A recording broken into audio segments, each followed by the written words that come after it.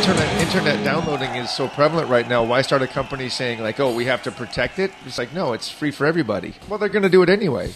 Is it better for me? No. Is it bad for me? No. Do I care about it? No. Because what can I do about it? Nothing. It's the way it is. If you lose sleep over it, then you're losing sleep for nothing. What if uh, somebody tells me that you know sun is actually the, the Earth is spinning around sun, and not the the other way around? I'm gonna be walking around saying no, fucking sun is spinning around Earth. No, time has moved on. I think the digital distribution of any type of media is uh, the way forward. You know, it, it, it, you know, digital TV, digital music distribution allows more people uh, further away from each other to connect, to combine, to cr- create, and to uh, collaborate. And uh, you know, it's a, it's making a different world than we've ever thought possible. And uh, I think it's scary in a way, but I think it's really incredible.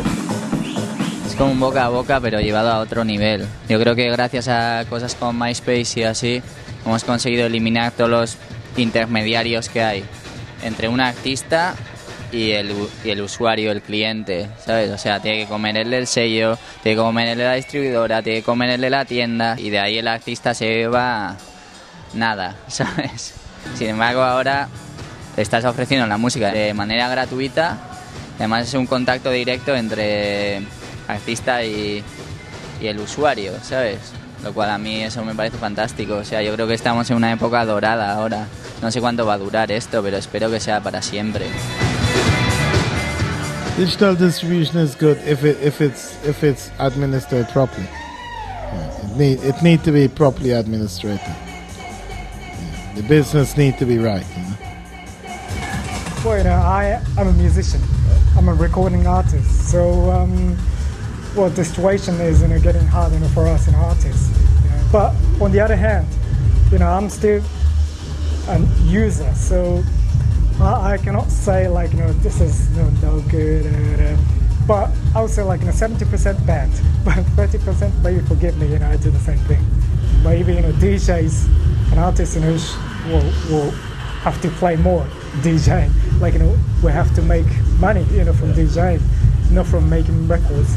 Well, in a way, you know, it's a hard situation. speak from experience that you know record sales are terrible. It's down like 75% or something like that, all over the place. You know, everybody's not selling records, um, and I don't think that the record, the concept of the record itself, I think it's almost gone. You know, like 12 songs that mean something together. That concept of a record is gone. It's like it just it's just songs. Like people just want to hear songs, and they have their choice of before they even buy the record. I can hear this one and a little bit of this one, and if I don't like this, I'm gonna buy three off this album, and you know fuck the other ten or whatever. And we need to find a better way to sell music online. I guess once we sort out that part, digital distribution is to be just like, you know, the, the normal way to distribute album. The only thing I would say, to me, maybe digitally the, the quality of the music lose a little bit because of the MP3 and whatever the size of the file. But I'm sure somebody's working on that. Está de más si, si te dan un euro por cada canción, está de puta madre, ya que no se venden discos. Pero quiero decir que es un vehículo de promoción, lo que son los discos y las grabaciones. Que luego los músicos vivimos, se supone, de los conciertos y de los shows. Entonces, para nosotros, para los músicos underground, ha sido un gran avance, porque nos están escuchando en Colombia, en Brasil, en Chile, cosa que con la distribución que tenemos independiente nunca se hubiera podido lograr. A los que les ha jodido son pues, Alejandro Sanz, Miguel y compañía que vendían 250.000 discos y ahora venden 50.000, ¿sabes? Pero para los músicos de la calle eso es una ventana que te lleva a todo el mundo. O sea, pero te digo, si echarán un euro por cada esto, no tampoco, tampoco pasa nada. Ah, tienes toda la música que te dé la gana al, al alcance. Y eso es maravilloso, eso es increíble. Pero no se debe olvidar comprar discos. ¿Por qué? Pues también porque hay discográficas ah, independientes que, aman a la música, que apuestan por grupos nuevos y que ponen un dinero y es un reconocimiento también a la labor del músico. Entonces yo creo que se tiene que encontrar un equilibrio. Y además porque ah, también está bien escuchar discos, ir a comprarlos, darles el valor que tienen, de cabo a, rabo, con su setlist, y tomarse un tiempo, ¿no? Para escuchar eso y valorarlo en su medida. Nik ikusten duena da ez dagoela bat ere, ez dagoela bat ere garbi, ez?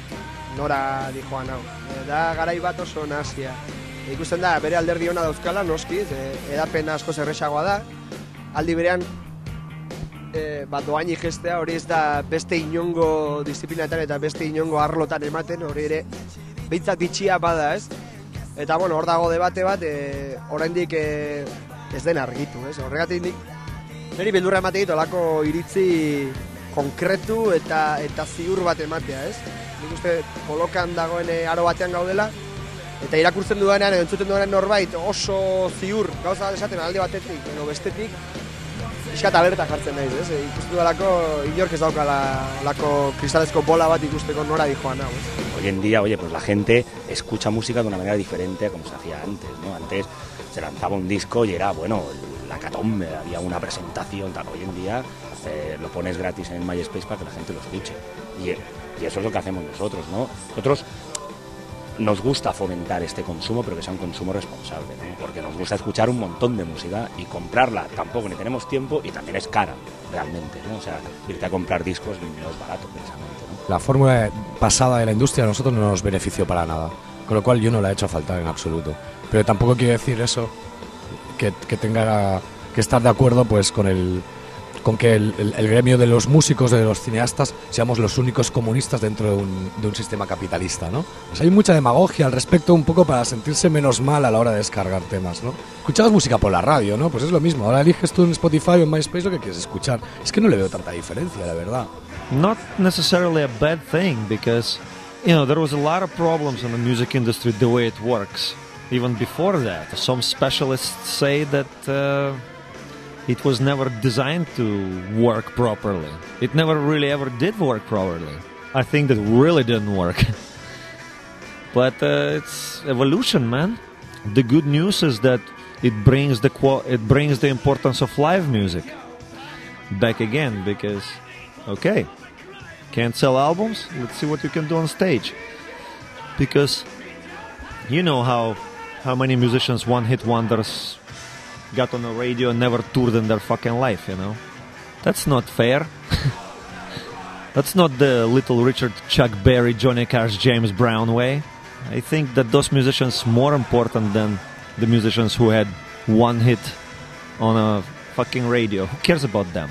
I don't know anybody who cares about them because they don't earn any trust. To earn trust of people, you have to be there for fucking 50 years on stage every night. And then people may miss you when you go.